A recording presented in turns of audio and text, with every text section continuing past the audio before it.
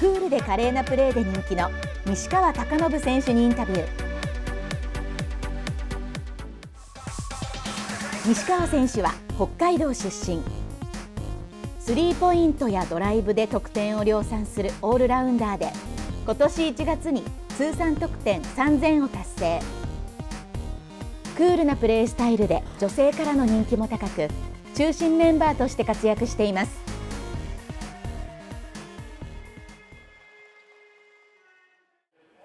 カモン第3回目今回は西川貴信選手にお聞きします。よろしくお願いします。お願いします。西川選手今日はお忙しいところありがとうございます。よろしくお願いします。よろしくお願いします。あの今日はですねブースターさんから西川選手の質問というのを預かってきましたのでそれに答えていただきたいと思います、はい。よろしくお願いします。お願いします。スリーポイントが入るコツを教えてください。あのもうとっても可愛い西川選手を大好きっていう、あの小木市在住の小学はい。6年生の、あ放送の頃は中学生になってらっしゃると思うんですけどバスケをなさっているというお子さんにアドバイスをお願いします。うんなんですかね。いや僕も知りたいぐらいですけど。うん。やっぱ全身の力を使ってあの腕だけじゃなくてその足の力も使って打つのが一番大切かなと思います。それはやっぱりもう日々のトレーニングでもう鍛えていく感覚っていう。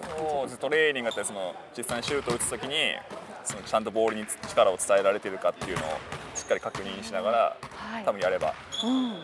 たくさん練習すれば身につくと思うので、はい。はい、ぜひやってみてください。はい、はい。ありがとうございます。じゃあ次の質問に行きます。西川選手の今の髪型も好きなんですが今後髪型を変えられる予定はありますか？はい、はい。髪型結構話題にされること多いんじゃないですか？まあ、たまにはい。聞かれます。今シーズンはあの、はい。昨シーズンもう少し緩めのパーマで、はい。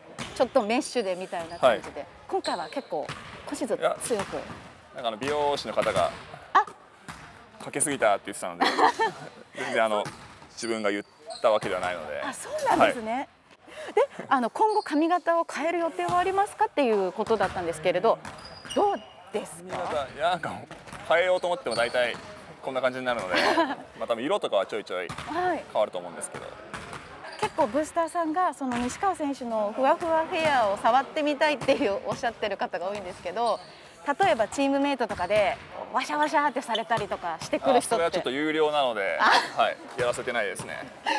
はい、じゃあ逆にお金を払えばお金払ったら考えます。わかりました。ちょっと金額は後ほどちょっと、ね。はい。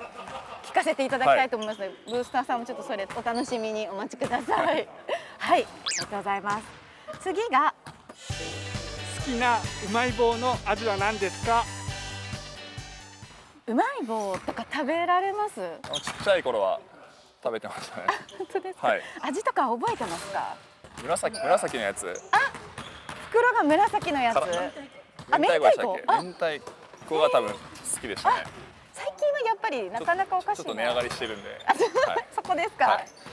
えお菓子は結構食べられますか？私はあまああんまり食べないのでちょっと太ったりするので、そうですよね。食べたいんですけどはい。あんまり食べないように気をつけてます。じゃあちょっとぜひあの優勝した暁にははちょっとうまい棒の明太子味を久しぶりにちょっと子供の頃の味食べてみ、大人買いしたいと思います。はい。あ 大人側ぜひ、ははいい、ありがとうござい。ありがとうございます。えではここからはブースターの皆さんから届いた DM の質問に入りたいと思います。まず仲の良いチームメイトは誰ですかっていう質問です。本当にみんな仲いいので、まあなかなか一人を選ぶのは難しいんですけど、はい。でもまあチームメイトっていうかティトさんとははい、あ。結構仲いいんで、かふざけあったりとかそういうイメージを勝手に抱いはい。いてしまうんですけど、やここでは言えないことを。結構こう後で聞きたいことがいっぱい出てますね。いつもはい、うん一緒にふざけてます。そうなんですね、でも皆さん仲がいいってやっぱりそれが今の強さにもつながってるっていう感じですか？そうですね。やっぱりチームワークにつながってると思うので、はい。はいありがとうございますえ次佐賀でお気に入りの場所はありますか？いやもう夢タウンともらしいです。私 すすごいふ普通って言ったらあれなんですけどえ結構行かれるんですか？すごい行けますね。ですはい。か、め目立つ目立ちますよね当然。いやそんなそんなことないんじゃないですかね。このまま。このままいます。マスクはしてますけどはい髪はもうその髪っていうか帽子とかはかぶ髪はセットしてないので多分もっとひどい。あじゃあちょっと人違いかって思われてる可能性もありますね。そうなんですね。えー、えじゃあもう夢タウンモラージュ即答だったんですけれど他になんかお出かけしたりとかってありますか？たまに温泉行きますね。古湯？古湯？あはい。古湯でしたっけ？はい。はい。あの辺とか行きます。そうですか、はじゃあモラージュとか夢タウンでブースターの方が西川選手見かけたら頑張ってくださいみたいな声かけるの。あお OK 願いです。あということですのでぜひ皆さん見かけたら声をかけてください。はい。次の質問は佐賀に来て驚いたことはありますか？って。まあ西川選手は北海道のご出身で、佐賀に、えっと昨シーズン途中から来られたんですけれどえ今佐賀に住んで、ね、まだ1年半ぐらいですね。どうですか？驚いたことってありますか？なんか中学生高校生の自転車がすごいカラフルだったので 多分佐賀佐賀だけというか。へえ、あちょっと今度から注目しはい。て見てみます。すごいですもう。うん、すごいカラフルね。クーピーみたいです そんなに。例えが面白いですね。はい、次はオフの日の過ごし方を教えてください。いやほんなんですかねもう家にいるかモラージュ夢タウンに行くか 温泉に行くかですねもうもうスポット決まって四箇所でじゃあ決まってる感じですか？大体そんな感じですねファンの方を探しちょっと探したいかもですねオフの日ありがとうございます。え次です。西川選手はいつも試合中クールなイメージですが試合以外の時でこうテンションが高くなる気持ちが高ぶる時ってありますか？オフの前の日です。